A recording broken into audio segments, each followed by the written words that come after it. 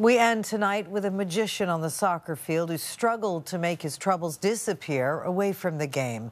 Diego Maradona died today of a heart attack at just 60 years old. Tonight, the scenes in Buenos Aires, signs reading Gracias on the streets where he was raised and revered. John Vennavally Rao on Latin America's patron saint of the pitch.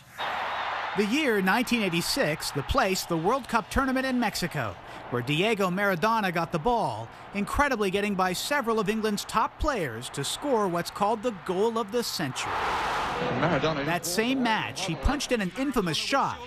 Looked like handball, that. Dubbed the Hand of God, that helped Argentina go on to win the tournament and Maradona win over millions of fans who tonight around the world are deeply mourning his loss. Uh, this Italian says he gave us so much and made us experience mind-blowing emotions. The fast and unpredictable Maradona played with Argentina in four World Cups and helped Naples in Italy win two league titles.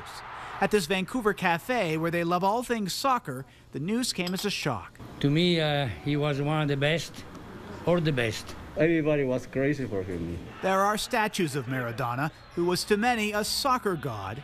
Pele tweeted, The world has lost a legend. While soccer great Leo Messi wrote, He leaves us but does not leave because Diego is eternal.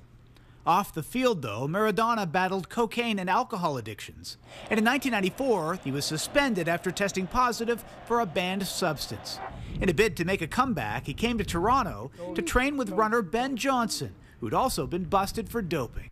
He was genius and he was tragic figure at the same time. He was beloved and he was hated at the same time. By 2000, Maradona was suffering from heart problems.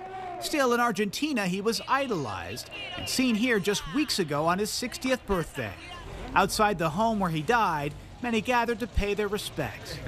He says, I think there will never be another like him, with Argentina's president declaring three days of national mourning. John Vennavally Rao, CTV News, Toronto.